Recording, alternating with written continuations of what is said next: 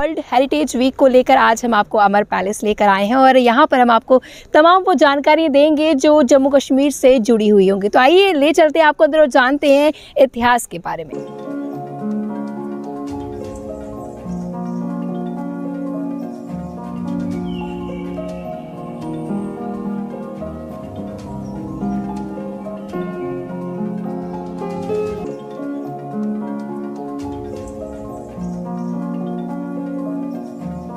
सिपाही भर्ती होकर महाराजा रंजीत सिंह के पास ये जनरल बने और उन्होंने ही उनको जम्मू का राजा बनाया। महाराजा गुलाब सिंह हाँ रंजीत सिंह ने। उनके बेटे आगे महाराजा रणवीर सिंह जिनको जिनको ये कंसोलिडेशन करने के लिए स्टेट के लिए इनको माना जाता है और मंदिर वगैरह जितने भी बड़े बड़े जम्मू कश्मीर में बने हैं वो इनके बनाए हुए हैं। इनके आगे तीन बेटे महाराजा प्रताप सिंह राजा राम सिंह और राजा अमर सिंह। महाराजा प्रताप सिंह के बेटा कोई नहीं था। राजा अमर सिंह के बेटा थे महाराजा हरि सिंह वो लास्ट महाराजा हुए।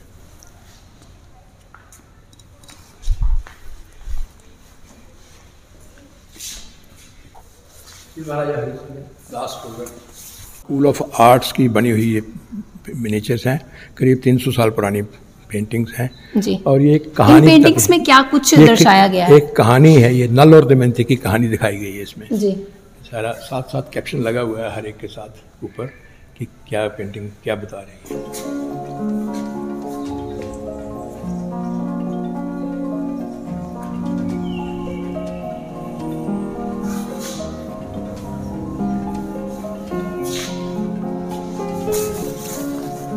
ये सिंहासन महाराजा हरि सिंह का सिंहासन है। ये वही जो मैंने आपको दर, दरबार बताए उन दरबारों में इसी सिंहासन इसको मेंटेन कैसे किया जाता है? इसको यहाँ रखा हुआ है और साफ़ सफ़ाई करने कितने सालों पुराना है ये? कितने सदियों पुराना है लगभग सदी एक साल सौ साल पुराना है। महाराजा हरि सिंह के टाइम का है। जी। ये जो सूर्य का पीछे बना हुआ है सूर्यवंशी का चित्र जो सूर्यवंशी हाँ सूर्यवंशी थे तो उनके सूरज का निशान है। ये उस पर भी है उसके ऊपर भी है। आम पब्लिक के लिए जो प्लेटफॉर्म बना था जी वहाँ उस पर ये दरबार लगता था। लोगों की सुनी जाती थी हाँ दरबार पब्लिक आम पब्लिक के लिए। और ये है दरबार खास जो कि अंदर ग्रे हाल में होता था। जी। तो ये इसमें जागीरदार और ऑफिसर लोग वो ईशा उसमें होते थे। ये ये जो सामने एक और जो ये चित्र है इसके ये हमारी स्टेट की फोर्सेस बाहर गई हुई थी उस वक्त अंग्रेज़ों के साथ। तो वे वहाँ पे महाराजा साहब खुद गए थे इंस्पेक्शन करने के लिए अपनी फ़ौज का। ये एक सेकेंड वर्ल्ड वार का हाँ सेकेंड वर्ल्ड वार के। ये एक वार काउंसिल थी। सेकेंड वर्ल्ड वार के टाइम पे अंग्रेज़ों ने एक वार काउंसिल बनाई थी। उसमें महाराजा साहब मेंबर थे। दो ही इंडियन उसमें मेंबर थे। एक महाराजा हरि सिंह और एक ये फरोज नून। ये बम्बे के रहने वाले थे। ये दो ही आदमी उसमें उन्होंने इंडियन रखे थे। बाकी सब अंग्रेज़ थे। हेबर स्टेट लंदन से आई हुई है। यहाँ पे है तो इंडिया में तब बनता ही नहीं था जब ये बना है। एक सौ सौ साल से ऊपर एक सौ पच्चीस साल पुराना ये पैलेस है। तब तो यहाँ बनता ही नहीं थी चीज़ें। Museum incharge R S Pathania हमारे साथ जुड़े हैं। सबसे पहले आपका स्वागत है और जिस तरह से हेरिटेज वीक चल रहा है अपने इतिहास के बारे में थोड़ी जानकारी लेना चाहेंगे? क्या कुछ कहेंगे? ये ये जो रूम है एंट्रेंस हॉल है इसमें स्टेट की कैसे बनी और कैसे क्या, क्या है ये उसके बारे में ही इसमें इंट्रोडक्शन दी हुई है। जी। ये है स्टेट जो जम्मू कश्मीर महाराजा गुलाब सिंह ने बनाई थी उसका ये मैप दिखाया हुआ है। उससे पहले महाराजा गुलाब सिंह से पहले जो स्टेट थी वो छोटे छोटे छोटे टुकड़े थे और उनको कंसोलिडेट गुलाब सिंह ने किया और ये जम्मू कश्मीर रियासत बनी। वो शिकार खेलने के लिए आए हुए थे और उन्होंने देखा एक शेर और बकरी इकट्ठे पानी पी रहे हैं।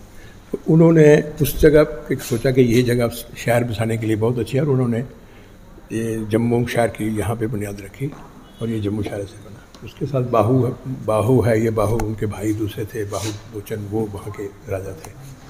उसके बाद जब महाराजा गुलाब सिंह राजा बने तो ये, उन, ये उनका और उनके बेटे महाराजा रण रणबीर सिंह का है। जी। कहते हैं कि महाराजा गुलाब सिंह ने अपने जीते जी ही महाराजा रणबीर सिंह को जम्मू का राज दे दिया था और खुद उनकी प्रजा में शामिल हो गए थे। सियासत जम्मू कश्मीर को बनाने के लिए ये उनको महाराजा रणजीत सिंह जो है राज तिलक दे रहे हैं अखनूर में, जिया पोता घाट पे। ये वो बताया हुआ है। जम्मू कश्मीर बनाने में जनरल जोरावर सिंह का बहुत बड़ा हाथ है। महाराजा गुलाब गुलाब सिंह के जनरल थे, उनका बहुत बड़ा हाथ है। ये उन्होंने जम्मू को जब ऊपर की तरफ़ उन्होंने शुरू किया नॉर्थ साइड जितनी भी कंपेन की हैं उसमें ये उन्होंने ये काम किया है। लद्दाख गिलगित तिब्बत तक वो चले गए थे। बल्तिस्तान सारा इन्होंने ऐड किया। तो जैसे ही म्यूज़ियम में आया जाता है जिन बच्चों को खासतौर से युवाओं की बात की जाए उनको जानकारी नहीं होती कि क्या कुछ है। हमारा जिस तरह से जम्मू कश्मीर की अगर बात की जाए लद्दाख की बात की जाए तो ये कंट्री थी। कंट्री स्टेट में किस तरह से तब्दील हुई जब आप एंटर करेंगे तो आपको उसकी जानकारी मिलेगी।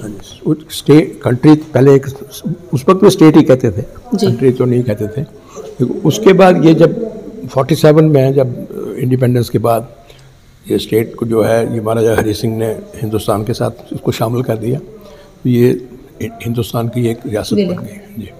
और उसके बाद ये यूटी तो फिर पाँच अगस्त 2019 में ये हुआ तो ये और क्या कुछ यहाँ पे हमारे डोगरी कल्चर के बारे में जो यहाँ पे दर्शाया गया है कश्मीर की बात की जाए लद्दाख की बात हाँ। की जाए तो उसके बारे में भी दर्शाया गया यहाँ मैं बताता हूँ ये देखिए ये जम्मू कश्मीर और लद्दाख तीनों खितों के ये लिबास औरतों के लिबास जो हैं ये यहाँ पे बताए हुए हैं। ये कश्मीर का है ये लिबास। ये जम्मू में डोगरा लेडीज़ जो पहनती थी सेरेमोनियल ड्रेस हैं ये सारे और ये लद्दाख के। जी। तो और क्या कुछ यहाँ पर है? और गुलाब सिंह के बाद महाराजा रणवीर सिंह जब आए तो उन्होंने ये जम्मू में मंदिर वगैरह सब खुलवाए। कायदा कानून जो स्टेटमेंट बनाया लागू किया वो इन्होंने किया। कंसोलिडेशन स्टेट की इन्होंने की। इनके बेटे हुए महाराजा प्रताप सिंह। राजा राम सिंह और राजा अमर सिंह। जो स्टेट की डेवलपमेंट शुरू हुई जो इंफ्रास्ट्रक्चर डेवलप किया वो महाराजा प्रताप सिंह ने किया। ये देखिए आप एक science college G G M science college जो है इसे प्रिंस ऑफ़ वेल्स कहते थे। ये उन्होंने बनाया। रणवीर लाइब्रेरी उनकी बनाई हुई है। रणवीर हायर सेकेंडरी स्कूल उनका बनाया है। सिल्क फैक्ट्री उन्होंने बनाई यहाँ पे। इसके अलावा नहरें रणबीर कनाल प्रताप कनाल जम्मू में बनी ऐसे ही कश्मीर में भी नहरें बनाई। और ये सारे इंफ्रास्ट्रक्चर का स्टार्ट जो किया है वो महाराजा प्रताप सिंह ने हमारी विरासत में और क्या कुछ ऐसा था जो आज के युवाओं को जिसकी जानकारी नहीं है? ये है राजा अमर सिंह ने बनवाया है ये महल। जी। ये उनका है। ये ये रामनगर में राजा राम सिंह का उनकी जागीर थी तो उन्होंने ये वहाँ पे बनवाया है। इसके बाद आए महाराजा हरि सिंह। ये क्ले मॉडल है ये जम्मू यहाँ पे हमें इस वक्त जम्मू ये कश्मीर वैली और ये ग्रीन थ्रेड आप देख रहे हैं धागा। जी। इस धागे के ऊपर का इलाका जो है जिसे कि हम पीओ के कहते हैं। जी। ये पाकिस्तान ऑक्युपाइड कश्मीर है। और वो नील पीले रंग का धागा है। उससे ऊपर का एक्स्ट्रा चीन एरिया जो है वो चाइना के पास है। इंडिपेंडेंस के बाद हमने ये इलाका खो दिया।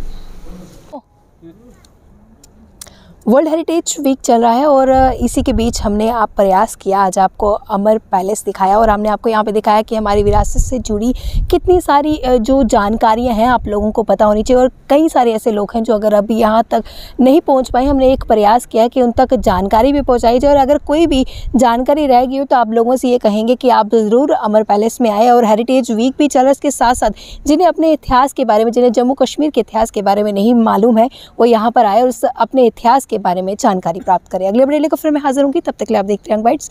जर्नलिस्ट अभिषेक बड़ू के साथ, मैं पूजा ठाकुर, यंग बाइट्स, जम्मू।